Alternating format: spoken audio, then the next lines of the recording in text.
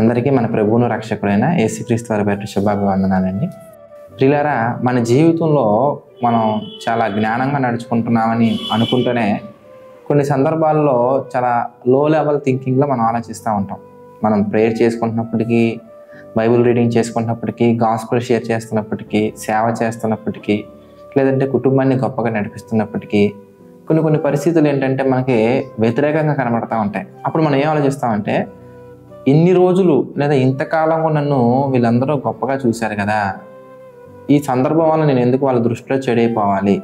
వాళ్ళ దృష్టిలో నేను ఎందుకు చెడ్డగా మారిపోవాలి? అనే ఉద్దేశంతో మనం ఏం చేస్తామంటే అబద్ధం చెప్పేస్తామండి. అయితే అబద్ధం చెప్పడం తప్పు అని అందరికీ తెలుసు.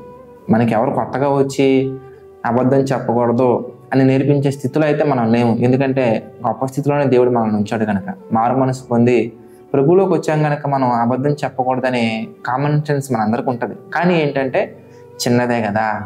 ఈ చిన్నది చెప్తే అందరి దృష్టిలో నాకు ఉన్నటువంటి పేరు పోకుండా ఉంటుంది అని ఆ సందర్భంలో మనం చాలా లో లెవెల్లో ఆలోచించి మనం ఏం చేస్తామంటే దేవునికి వ్యతిరేకమైనటువంటి ఒక నిర్ణయం మనం తీసుకుంటాం.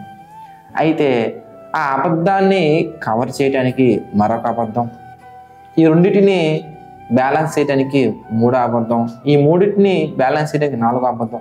ఇలా ఏంటంటే ఒక దానిని మనం కవర్ చేయడానికి లేదా ఒక దాన్ని మనం కప్పిపుచ్చడానికి అబద్ధాల మీద అబద్ధం అబద్ధాల మీద అబద్ధాలు చెప్పి చెప్పి చెప్పి చెప్పి చెప్పి చెప్పి చెప్పి చెప్పి దేవునికి చాలా దూరం అయిపోతామండి. అయితే మొదట అబద్ధం చెప్పినప్పుడే మనం దేవునికి దూరం అయిపోతున్నాం అనే విషయం మనం గుర్తించాలి. కానీ మనుషుల దృష్టిలో మాత్రం నటిస్తూనే ఉంటాం నటిస్తూనే ఉంటాం నటిస్తూనే ఉంటాం. ఏదో ఒక రోజు ఏదో ఒక అబద్ధం అనేది బయటపడుతుంది. ఎందుకంటే దేవుని వాక్యం సెలవిస్తుంది పిల్లరా మరుగై ఉన్నది ఏది కూడా బయటపడకపోదు. ప్రతి ఒక్కటి కూడా ఏదైతే సీక్రెట్ అని మనం ఫీల్ అవుతున్నామో సీక్రెట్ అనుకున్న ప్రతి ఒక్కటి కూడా బయటికి రివీల్ అయ్యే ఒక టైం అనేది వస్తుంది. ఆ టైం వచ్చినప్పుడు మరి దాని వెనకాల ఉన్నటువంటి అన్నీ కూడా బయటకు వస్తాయి ఒక అబద్ధం విషయంలోనే కాదండి. ఏ విషయమైనా కానీ ఇతరులని మనం మోసపుచ్చే ప్రయత్నం మనం చేసామంటే అది అబద్ధం ద్వారా అవ్వచ్చు నటించడం ద్వారా అవ్వచ్చు లేదంటే మరి ఏ రూపంగా అయినా కానీ మనం ఏంటంటే ఒక తప్పుని మనం కప్పిపుచ్చడానికి మరొక తప్పుని మనం దాచిపెట్టుకుంటూ చేసుకుంటూ దాచిపెట్టుకుంటూ చేసుకుంటూ మనం వెళ్తూ వెళ్తూ వెళ్తూ ఉంటాం అయిపోతాం ఒక మోసగాడిగా మనం మారిపోతాం. మనుషులందరూ కూడా మనల్ని అప్పుడు ఇతగాడు మంచోడని ఎంతకాలం మనం అనుకున్నామే ఎంత మోసం చేస్తాడా? చూసారా? ఒక చిన్నదే కదా మనం ఆలోచించాము. వాళ్ళ దృష్టిలో మనం ఎందుకు చడైపోవాలి? వాళ్ళ దృష్టిలో మనం చట్ట మనుషులు ఎందుకు మారిపోవాలని మనం ఏం చేసామంటే ఇన్ని తప్పులు మనం చేస్తూ వచ్చామండి. అలా కాకుండా నిజాయితీగా ఎందుకు మనం ఆలోచించాలి? ఎందుకు మనం తప్పు చేయాలి? ఎందుకు మనం నిజాయితీగా ఉండకూడదు అని మనం ఆలోచించి నిజాయితీగా మనం కనుక మంచి నిర్ణయం తీసుకొని ఆ సందర్భంలో మన పరువు పోతే పోయింది అని మనం నిజం కనుక మనం మాట్లాడగలిగినట్లయితే మనుషుల దగ్గర మనం పరువు పోవచ్చేమో కానీ పిల్లరా దేవునికి మాత్రం స్నేహితుడిగా మనం మారిపోతాం. అబ్రహాం గారు నిజాయితీగా ఉన్నారు కనుకే అబ్రహాం గారికి దేవుడు పెట్టినటువంటి పేరు నా స్నేహితుడు. దావీది గారు నమ్మకంగా యథార్థంగా ఉన్నాడు కాబట్టే దావీది గారిని దేవుడు అంటారు ఇదిగో ఇతను నా ఇష్టానుసారుడు. నా ఉద్దేశంలన్నీ నెరవేర్చను. కనుక మనుషుల దృష్టిలో మనం పేరు సంపాదించుకోవటం కొరకు మోసగాళ్ళ మారాల్సిన అవసరం లేదండి.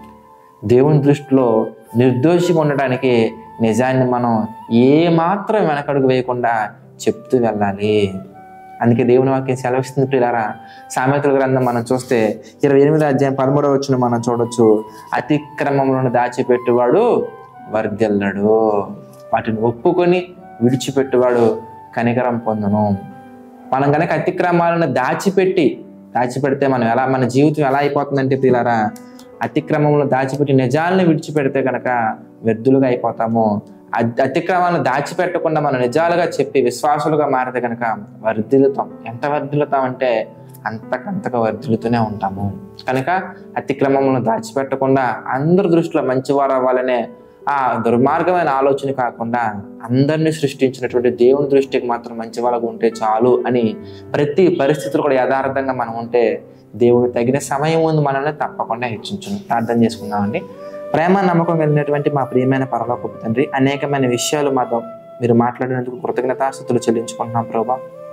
మమ్మల్ని దీవించండి ఆశీర్వదించండి బలపరచండి తండ్రి. ఈ డైలీ డివోషన్ మేకింగ్లో ఎంతమంది అయితే మీకు సహకారం నిలబడుతున్నారో వారందరిని మీరు ప్రత్యేకించి జ్ఞాపకం చేసుకుని దీవించండి ఆశీర్వదించండి తండ్రి. ప్రభా ఈ డైలీ డివోషన్ ఇస్తున్నటువంటి వారిలో తండ్రి ఆర్థిక ఆరోగ్య మానసిక సమస్యలతో బాధపడుతున్న ప్రతి ఒక్కరిని మీ చిత్త ప్రకారంగా దీవించండి వారి కృంగిన మనసును మాత్రం లేవనెత్తండి బలపరచండి. తండ్రి మీ చిత్తమైతే మేమందరం మరలా కలుసుకొని మీ యొక్క వాక్యాన్ని ధ్యానించుకునే ధన్యతను అందించండి తండ్రి. తండ్రి యథార్థంగా ఎవరైతే సేవ చేస్తున్నారో ఆ సేవ చేస్తున్న ప్రతి సేవకులను మా తండ్రి మీరు జ్ఞాపకం చేసుకోండి.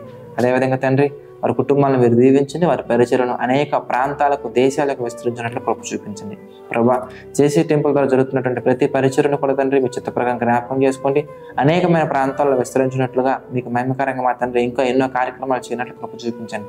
సమస్త మహిమ ఘనత ప్రభావాలు మీకే చెల్లించుకుంటూ మా ప్రభువును రక్షకుడైన యేసుక్రీస్తుల పరిశుద్ధ నామని ప్రార్థన అడిగి పెట్టుకుని తండ్రి. ఆమె అందరికీ వందనాలండి. God bless